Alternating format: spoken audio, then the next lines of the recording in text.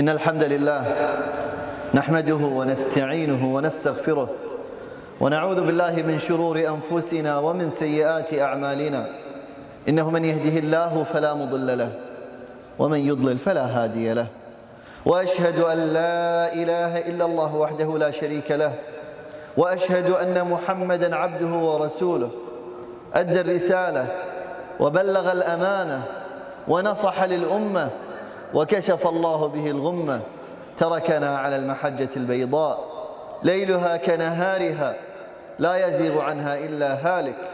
صلوات الله وتسليماته وتبريكاته عليه وعلى بيته وصحبه وعلى التابعين ومن تبعهم بإحسان إلى يوم الدين.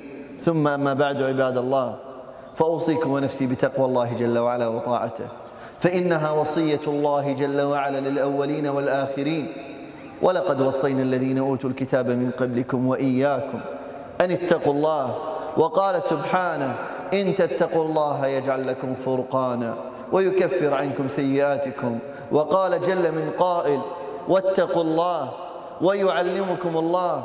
وقال سبحانه يا أيها الذين آمنوا اتقوا الله وقولوا قولا سديدا يصلح لكم أعمالكم ويغفر لكم ذنوبكم ومن يطع الله ورسوله فقد فاز فوزا عظيما. معاشر المسلمين أتفيأ وإياكم في هذه الخطبة ظلال حديث من أحاديث المصطفى صلى الله عليه وسلم كما يرويه الإمام مسلم من حديث أبي هريرة رضي الله عنه أن رسول الله صلى الله عليه وسلم قال المؤمن القوي خير وأحب إلى الله من المؤمن الضعيف وفي كل خير.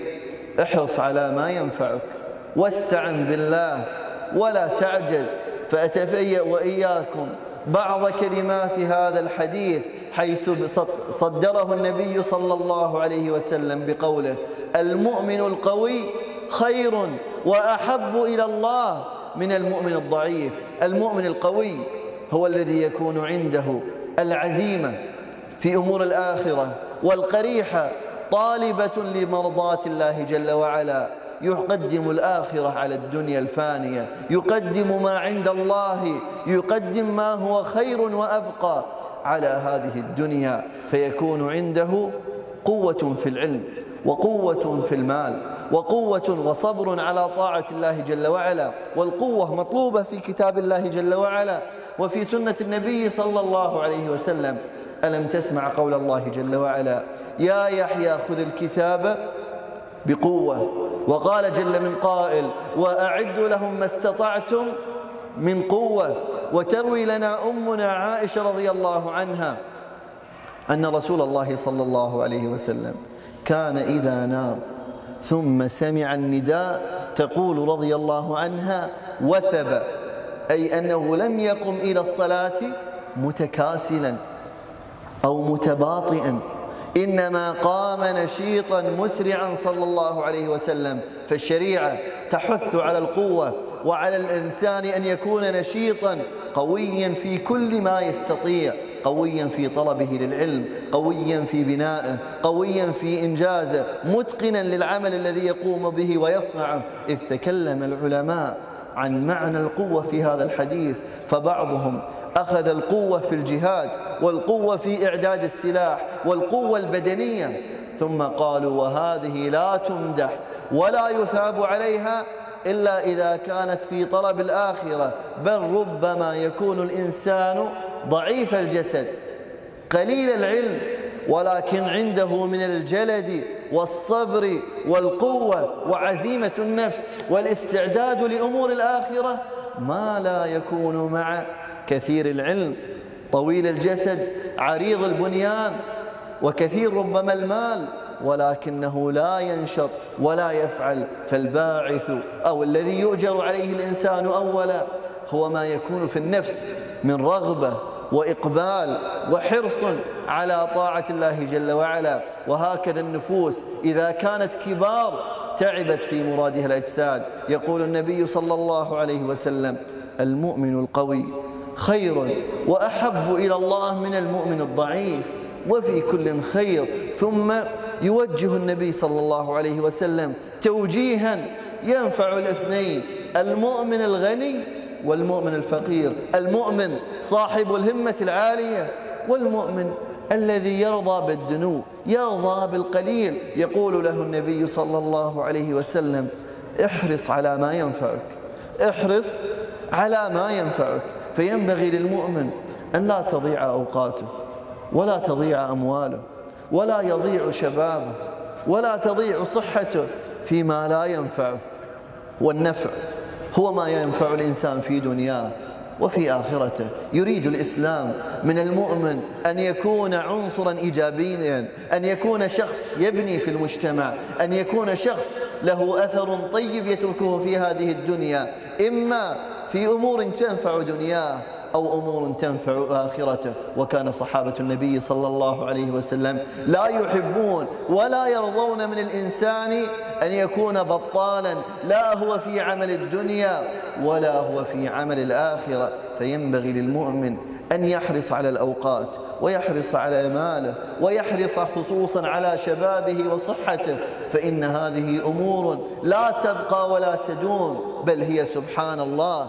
سرعان ما تزول سرعان ما يذهب الشباب وسرعان ما يذهب المال وسرعان ما تذهب الصحة وسرعان ما تضيع أو تفتر الهمة فينبغي للإنسان أن ينشط إذا وجد في نفسه نشاط وأن يسارع للعمل. أقول هذا القول وأستغفر الله لي ولكم فاستغفروه إنه هو الغفور الرحيم. استغفر الله أستغفر الله الذي لا إله إلا هو الحي القيوم وأتوب إليه. أستغفر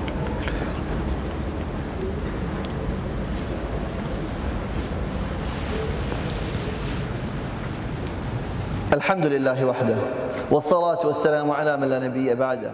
أما بعد معاشر المسلمين فإن من أكثر الأمور التي تلهي الإنسان وتشغله عن الإنجاز وتشغله عن الحرص على ما ينفعه أنه ينشغل بأمور لا تعنيه فربما قضى على الجوال الساعات الطوال. في أمور لا تنفع لا في دنيا ولا في آخرة.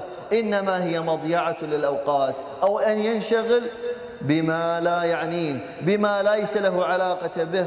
وقد قال النبي صلى الله عليه وسلم من حسن إسلام المرء تركه ما لا يعنيه.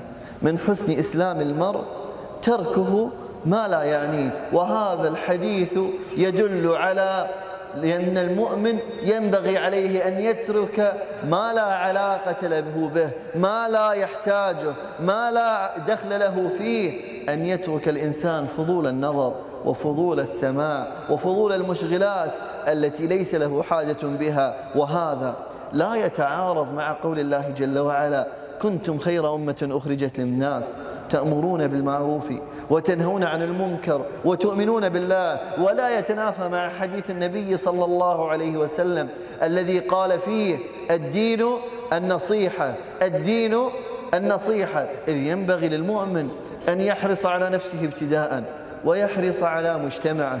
ويحرص على بيته ويحرص على أمته أن تنجو وأن ترتقي وأن تسمو وأن يكون بانيا للخير فيها هادما للشر ما استطاع مكثرا للخير مقللا للفساد ما استطاع إلى ذلك سبيلا. فهذه الأمور كلها تعنيه ولكن انشغال الإنسان بما لا يعنيه أي أنه ينشغل بأمر من الأمور الساعة والساعتين أو الثلاث ثم يجد نفسه أنه كان في أمر غير ذي بال أو غير ذي طائل كأن ينشغل أحدهم في لون سجاد المسجد. لماذا هو أخضر؟ ولماذا هو ليس أحمر أو أزرق أو لونا آخر؟ فهذا لو انشغل به الساعة والساعتين والثلاث لا طائل من ورائه. ولا فائدة ولا خير يرجى. ولكن لو تفكر فيما ينفع المسلمين من أنهم يحتاجون مثلا إلى الماء فلماذا لا يتم توفيره لهم؟ لكان هذا أمرا محمودا ولكن الأمر الأول أمر غير ذي بال. لو انشغل الإنسان لما لا يكون هناك مدرس للتحفيظ؟ لما لا يكون هناك حلقات للكبار والصغار للرجال والنساء؟ لماذا لا نعمل مشروع أو نجمع لتبرعات؟ لماذا لا ننهض لإخواننا؟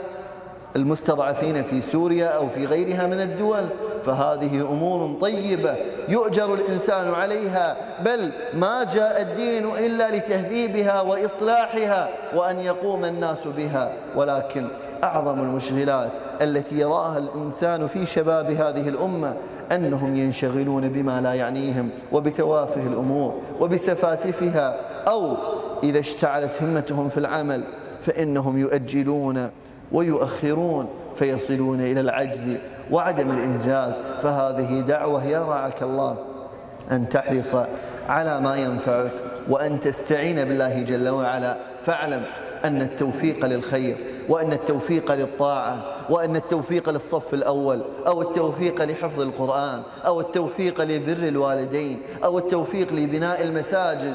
ليس بحولك ولا طولك ولا قوتك ولا بسبب علمك ولا همتك إنما هو اصطفاء من الله جل وعلا وفضل منه سبحانه. ولذلك نقول إياك نعبد وإياك نستعين وأشار النبي صلى الله عليه وسلم في هذا الحديث اللطيف العجيب.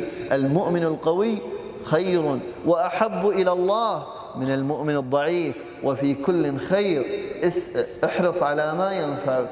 واستعن بالله واستعن بالله. قال النبي صلى الله عليه وسلم لمعاذ بن جبل والله إني لا أحبك.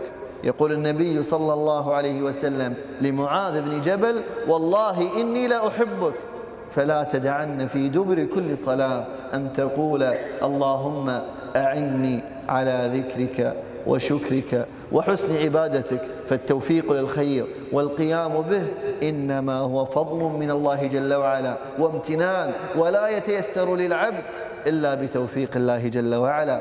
ألا وصلوا وسلموا على من أمرتم بالصلاة والسلام عليه كما أمركم ربكم في محكم التنزيل بقوله إن الله وملائكته يصلون على النبي. يا أيها الذين آمنوا صلوا عليه وسلموا تسليما. اللهم صل على محمد وعلى آل محمد كما صليت على إبراهيم وعلى آل إبراهيم وبارك على محمد وعلى آل محمد كما باركت على إبراهيم وعلى آل إبراهيم. اللهم اغفر للمسلمين والمسلمات. اللهم اغفر للمسلمين والمسلمات. اللهم اغفر للمسلمين والمسلمات. الأحياء منهم والأموات. إنك ربنا قريب مجيب الدعوات. اللهم اغفر لنا ذنوبنا وإسرافنا في أمرنا. وكفر اللهم عنا سيئاتنا. وتوفنا مع الأبرار إن الله يأمر بالعدل والإحسان وإيتاء ذي القربى وينهى عن الفحشاء والمنكر والبغي يعظكم لعلكم تذكرون. فاذكروا الله العظيم يذكركم واشكروه على نعمه يزدكم ولذكر الله أكبر. والله يعلم ما تصنعون. وأقم الصلاة.